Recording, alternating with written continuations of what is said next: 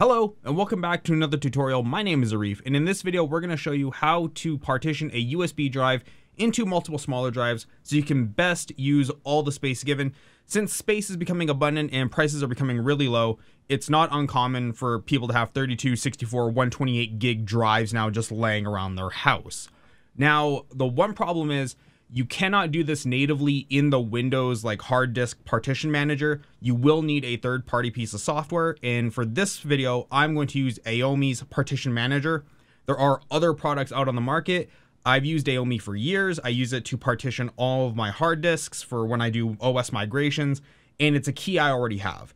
They did give me the key for free for a different video, not for this one. If this is not an ad, I just happen to have it and I don't feel like buying another one, if that makes sense.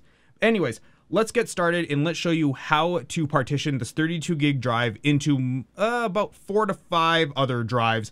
It all depends on how much space you want to take up per partition. Looking at the drive, we can see I already have the Windows 10 ISO installed through the media creation tool.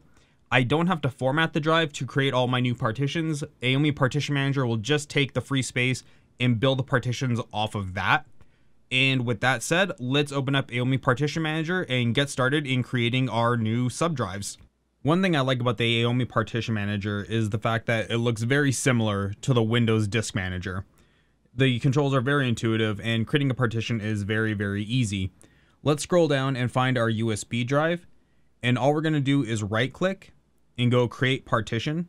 And we're going to set the size of the partition that we want to create. Once we're done, we will just click OK and it will put this partition in and you'll see on the left side here it says a pending transaction is about to occur.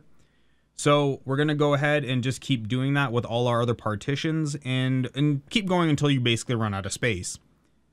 Once you've done all the partitions that you need to do you want to go up to the top here and click apply and it'll start to create all the partitions on the drive.